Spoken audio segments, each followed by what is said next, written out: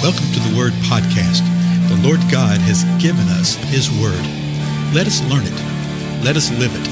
Let us rejoice in it. Spread the Word.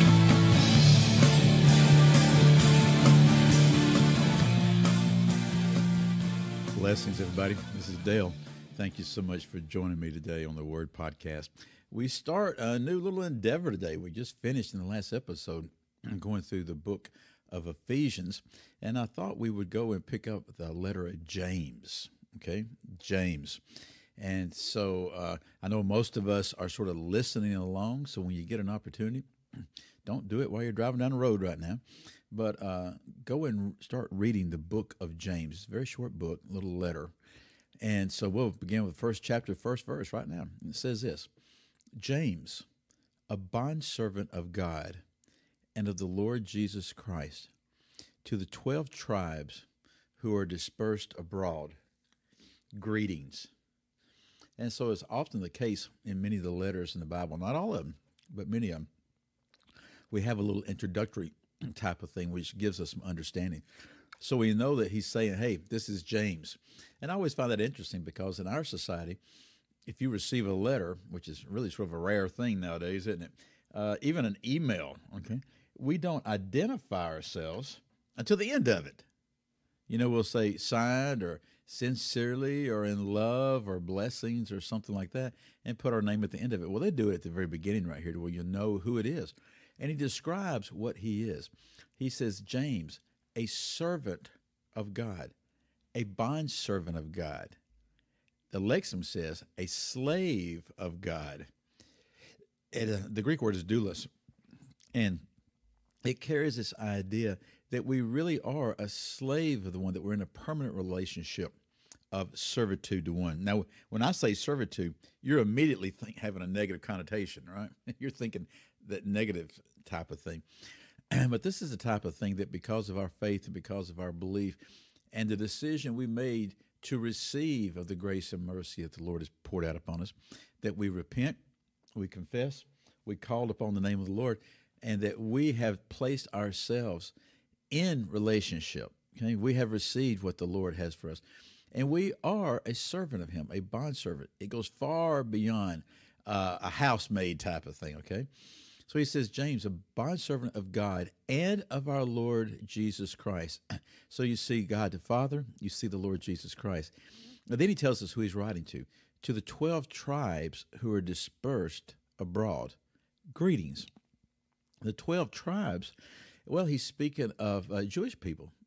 Okay, Israel was divided into 12 tribes, and he this is literally called the scattering, the dispersion. Okay, and it's I think it's the diaspora, it is diaspora, diaspora depends on how you want to accent the syllable there, right? And it literally means that it carries the idea of when those who were Jewish believers were scattered about, and they were scattered two or three different times that we see in the Scripture. So, you know, the question is sort of begged at the very beginning why is James, and, you know, which James is this? There's more than one James in the scripture. You know, we'll figure this out as we go along. Uh, why is he writing to Jewish people? You know, is it just those that are Jewish? Is there something more to it? Well, as you get into it, you find out that he's writing to those who are believers. Remember, that the Lord came to all the world, beginning with the Jew and then the Gentile. And so these are those that have received Jesus Christ as Lord and Savior. And the 12 tribes, that's the idea that it's to all of y'all, okay? And I know that you're dispersed abroad. Uh, there was dispersion. One dispersion occurred uh, with the. Uh, when the northern kingdom was hauled off into captivity by the Assyrians. Another dispersion when the southern kingdom was hauled off to Babylon. Another one uh, during this time right here, the Romans, okay, were kicking the Jews out of uh, Italy.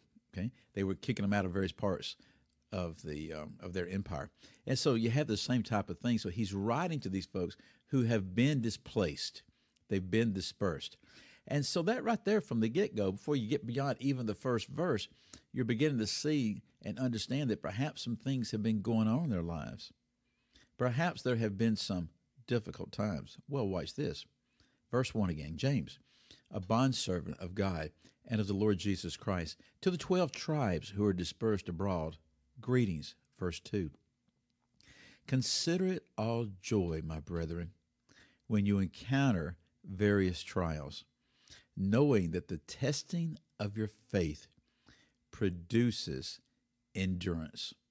Well, there we go.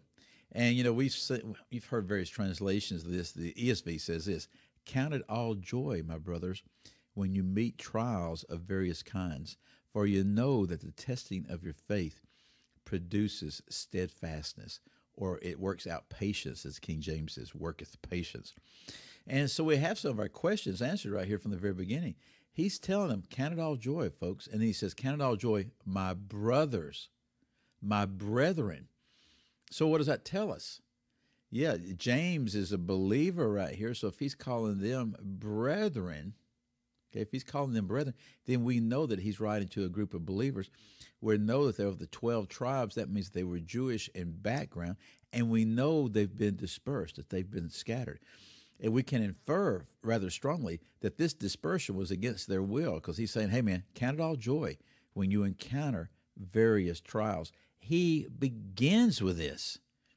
He introduces himself, addresses who he's writing to, speaks a word of greeting over them, literally the word greeting, and then just jumps into it. He says, You know what, folks?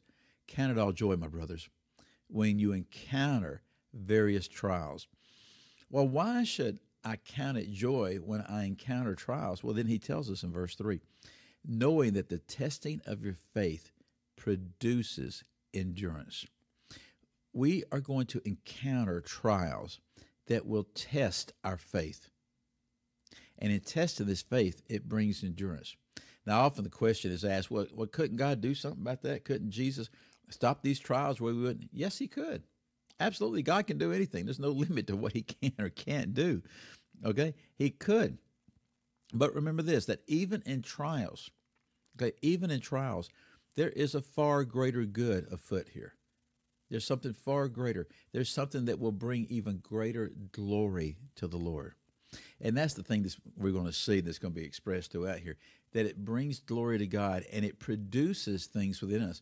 Now, I'm not talking about the fruit of sin.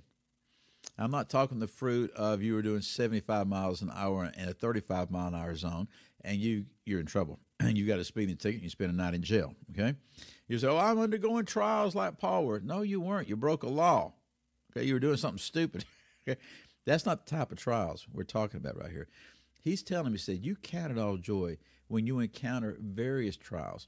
Remember what Jesus told Timothy. He said, "All who desire." to be Christ like will undergo persecution, will have trials, will have tribulation. But then James gives us some insight in that. He says, You can know this, that the testing of your faith, that's the type of trial he's looking at. The testing of your faith, that which challenges your, challenges your faith, and that could be that which uh, somebody is argumentative with you and challenging what you believe. Okay, you have that element. Element. It could also be simply of walking in obedience in the Lord and not sinning, of being holy, of being righteous. Anything that challenges that, knowing that the testing of your faith, that it will produce patience, that it will produce endurance, that it will produce steadfastness. So, our time's out. Our final thing that we should be thinking about this, folks, in the midst of this, consider it all joy. Count it joy. That doesn't mean that I may be happy. It doesn't mean that I feel joyful. No, I am going to count it all joy. Count it all joy when I encounter various trials. Why?